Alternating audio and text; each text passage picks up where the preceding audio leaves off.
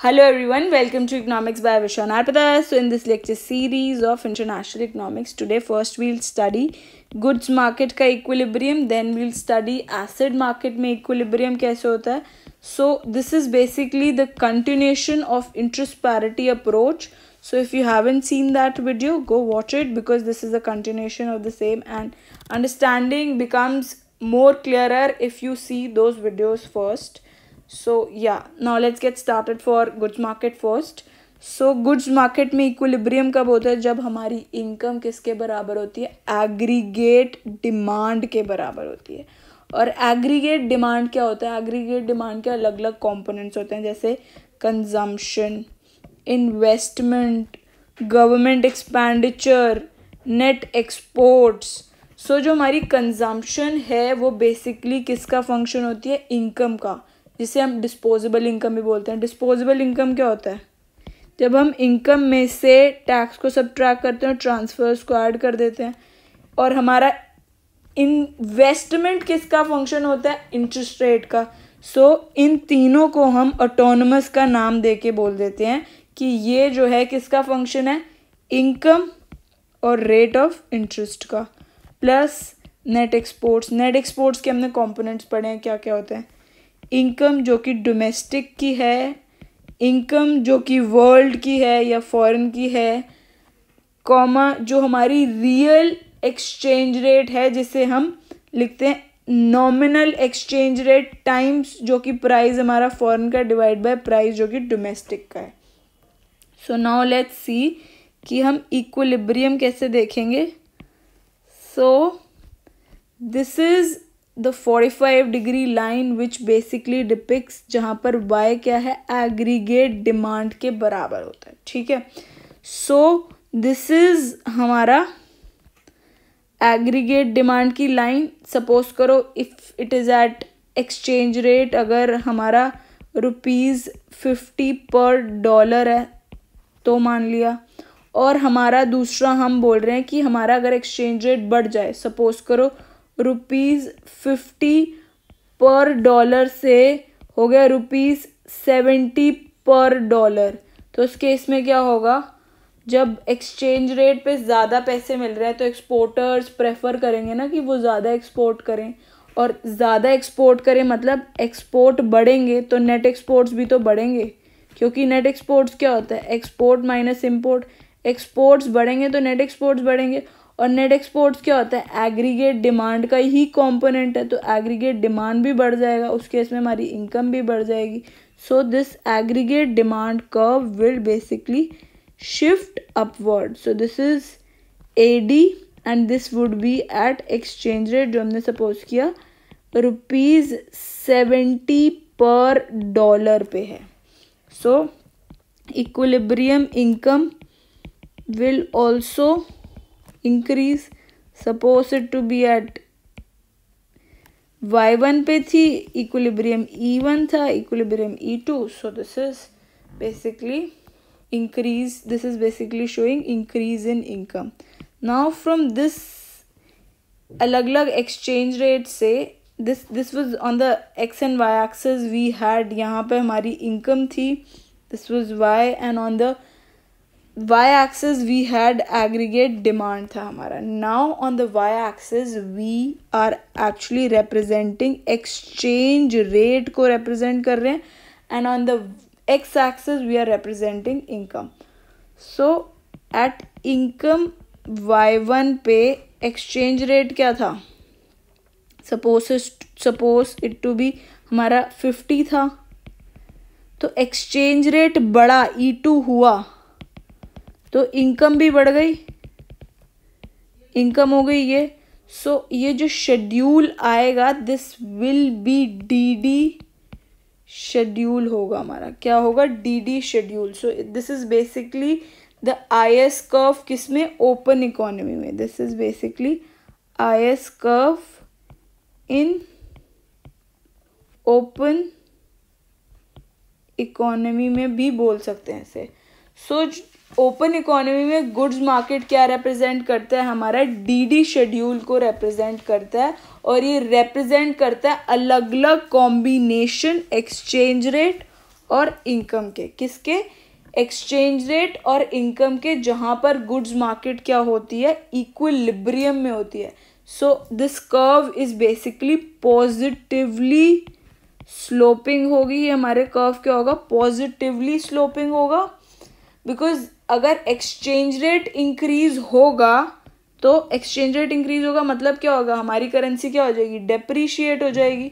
And then that case अगर हमारी currency depreciate होती है डेप्रीशिएट होगी तो हमारे क्या होंगे? नेट एक्सपोर्ट्स बढ़ेंगे क्योंकि और लोगों को हमारे गुड्स क्या लगेंगे? सस्ते लगेंगे तो वो ज़्यादा हमारे से लेंगे तो उस केस में क्या होगा? हमारे एक्सपोर्ट्स बढ़ेंगे एक्सपोर्ट्स बढ़ेंगे तो नेट एक्सपोर्ट्स बढ़ेंगे। नेट एक्सपोर्ट्स क्या? एग्रीगेट डिमांड का कंपोनेंट है तो ए बढ़ जाएगा।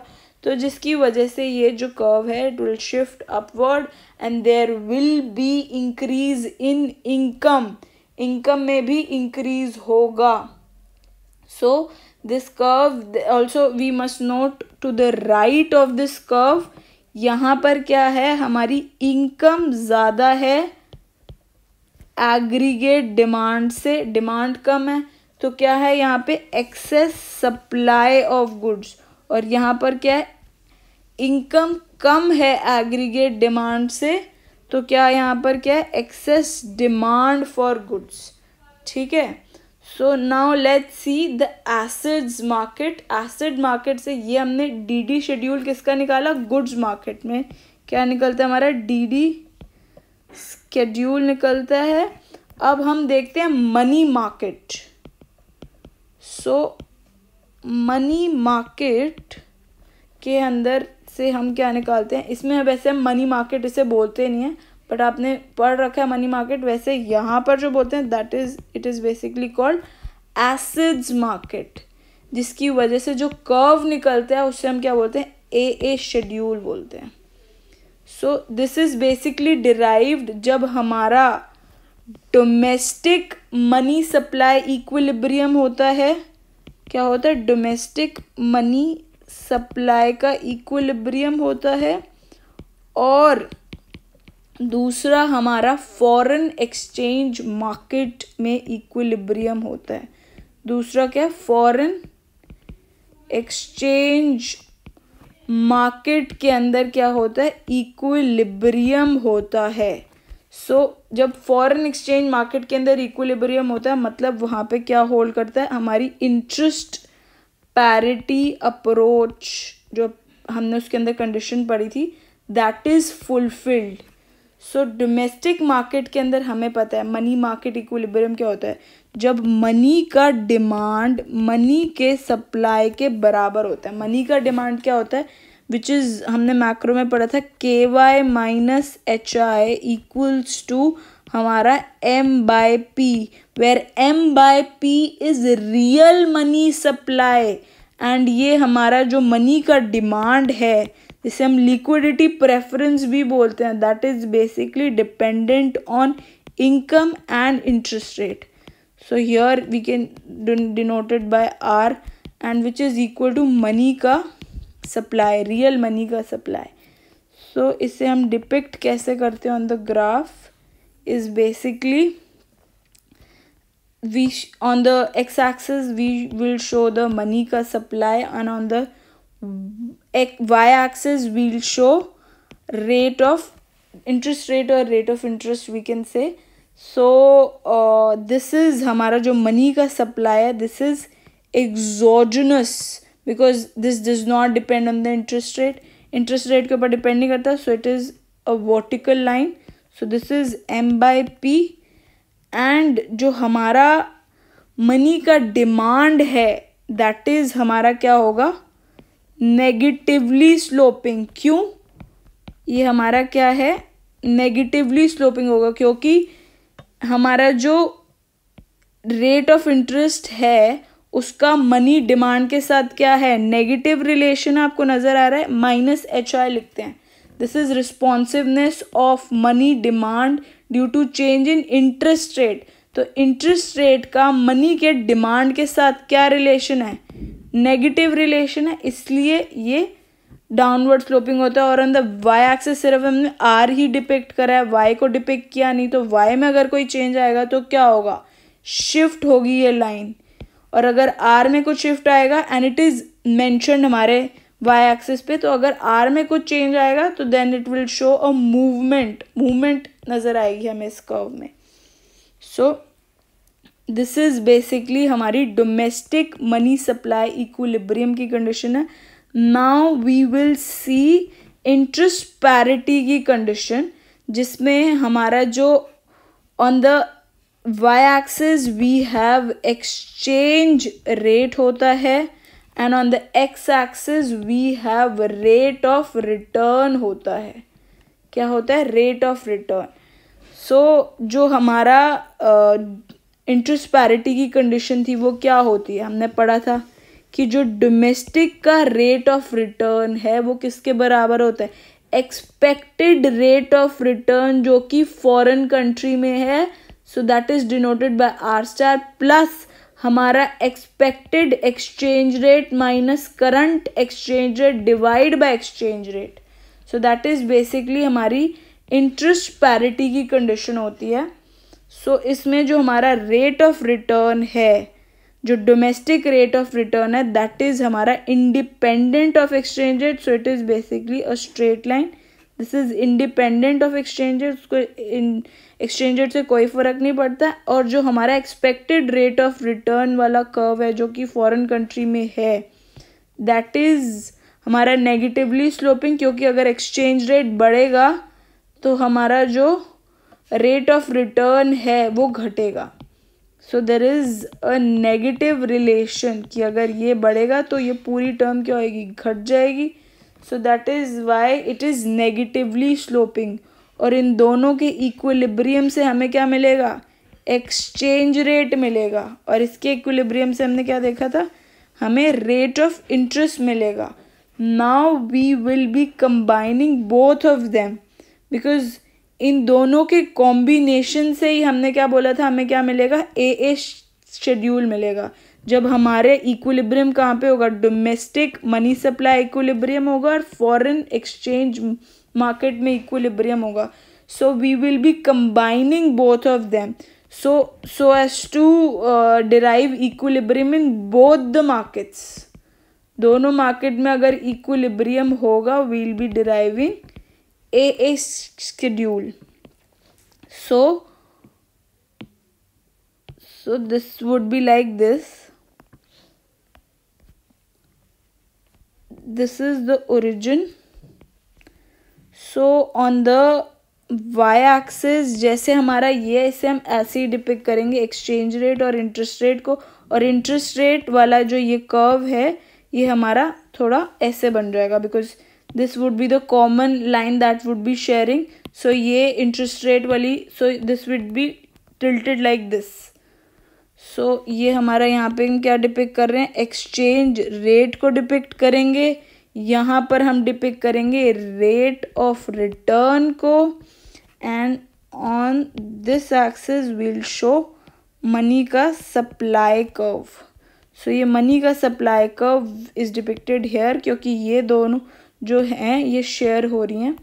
सो सपोज़ करो कि एक मनी का सप्लाई है विच इज़ हमने पहले भी पढ़ा था एग्जॉर्जनस है बिकॉज़ इसको हमने इसके अंदर that does not depend on the rate of interest so it is basically an exogenous parameter so this is हमारा वेयर मनी की डिमांड वाली line which is negatively sloping because that's dependent on income and rate of return. So so, इसके rate of return से हमारा domestic rate of return determine होगा which is exogenous of which is exogenous of exchange rate so यहाँ से ये जो है हमारा रेट ऑफ़ रिटर्न हो गया जो कि डोमेस्टिक करेंसी पे है एंड दिस इज़ हमारा रेट ऑफ़ रिटर्न जो कि किस पे है foreign currency pair which is negatively sloping so this is depicted by r star plus exchange rate expected minus current exchange rate divided by हमारा current exchange rate so अगर कोई भी shift होगा इस लाइन में मैंने क्या बोला था कि आर को तो हमने डिपिक्ट किया इधर बट हमने वाई को कहीं भी मेंशन नहीं किया तो अगर इनकम में कोई शिफ्ट होगा चेंज होगा तो this this curve will shift ये जब कर्व शिफ्ट करेगा तो इंटरेस्ट रेट जो है दैट विल बेसिकली शिफ्ट हो जाएगा that will increase so, in that case, we can draw this curve as well. So, यहाँ से हमारा exchange rate was E one so exchange rate जो है डिक्रीज हो गया. ठीक है? So from both these things will be deriving हमारा कर्व जहाँ पे हम डिराइव करेंगे अपना A A schedule on the Y axis we have exchange rate on the X axis we have income और ये जो हमारा पहले एक्सचेंज रेट जो था that was basically E one और दूसरा जो था that was basically E two और पहले हमने क्या किया था, हमारी इनकम क्या थी? ये थी हमारी इनकम एक्सचेंज रेट ये था। So that was basically the point उसके बाद हमारी इनकम जो थी, वो इंक्रीज हुई।